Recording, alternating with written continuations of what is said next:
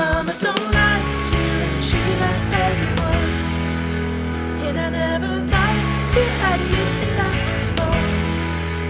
And I've been so caught up in my job, really seems like.